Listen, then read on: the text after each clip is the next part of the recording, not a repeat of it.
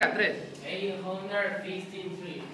Muy bien, Albert, lo felicito, Albert. Qué Albert, Chicos, a propósito, les tengo que dar una noticia. Creo que no les va a gustar mucho, pero se la tengo que decir. Mr. Marco Rivera no viene hoy ni mañana.